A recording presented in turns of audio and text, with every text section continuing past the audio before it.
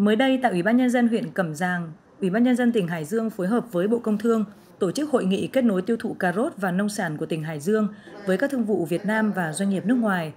Hội nghị được thực hiện theo hình thức trực tiếp và trực tuyến tới 150 điểm cầu, trong đó có 36 điểm cầu quốc tế ở nhiều quốc gia và vùng lãnh thổ gồm Nga, Ấn Độ, Úc, Hồng Kông, Singapore, Trung Quốc, Hàn Quốc, Malaysia, UAE.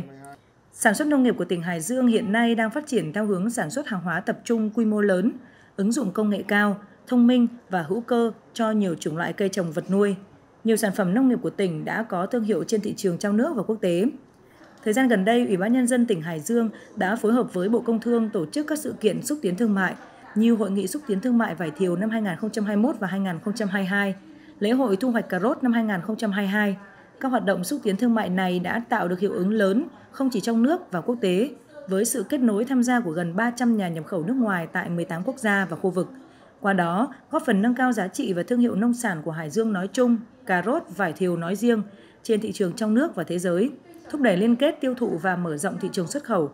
Tại hội nghị, đại biểu tại nhiều điểm cầu quốc tế là các thương vụ tham tán thương mại của Việt Nam tại một số quốc gia như là Ấn Độ, Singapore, các tiểu vương quốc Ả Rập Thống Nhất, Úc, Nga, vân vân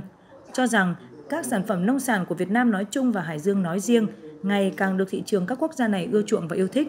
Nhiều ý kiến cũng thể hiện sự tin tưởng nông sản của Hải Dương có tiềm năng xuất khẩu tại các thị trường các quốc gia này.